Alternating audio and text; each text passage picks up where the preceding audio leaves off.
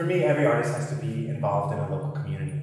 There is no international art scene without a community art scene behind it, and there's no community art scene without artists speaking to one another, with one another, working together, sharing ideas, sharing art, sharing work, and making it happen. Thank